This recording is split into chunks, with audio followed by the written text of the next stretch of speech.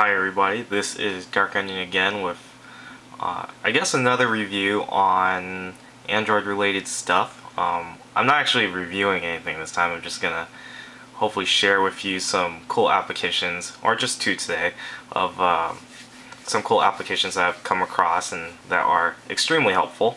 Um, so yeah, so for all you people who are interested in Android stuff, you guys should definitely check out my website. It is kimete.com. That's K-I-M-E-T-E.com. Check it out. I have blogs there. I have an experiment I'm doing. I have uh, Android related tools where you can do stuff like change your boot screen and um, root your phone and etc etc. So uh, check it out. Um, so anyways, let's get this party on the road. So um, the first two applications I'm going to share today are uh, Barcode Scanner by ZXing Team and SMS Backup Plus.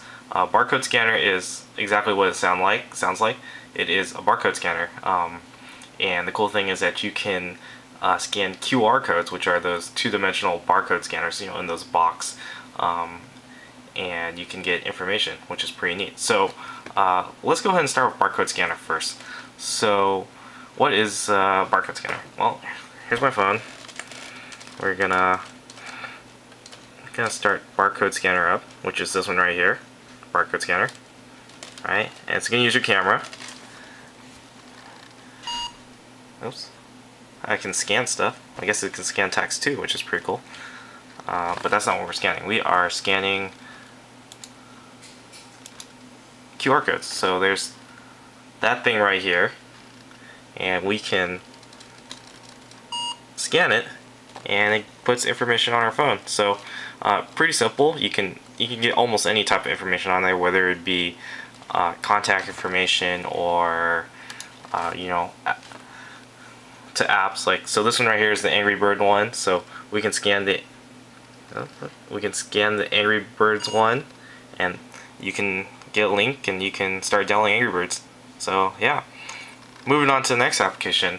Um, the next application I'm going to share is uh, a tool called SMS Backup Plus and this is a great tool for you if you want to back up your SMSs as well as other things to your Google Mail account. So uh, if you wipe, if you factory reset your phone as much as I do, this is definitely a handy tool.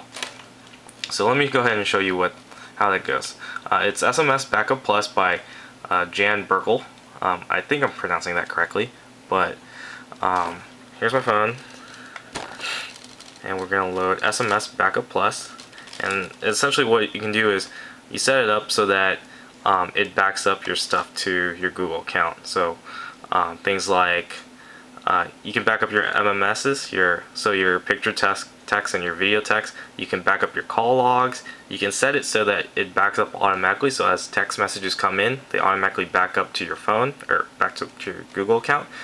And you can also back it up. So um, you just click if you don't have it set automatically you can click backup and it'll just back up your stuff.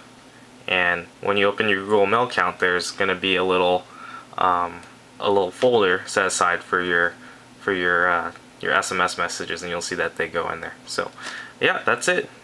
Um, so once again check out my website at www.kimete.com Dark out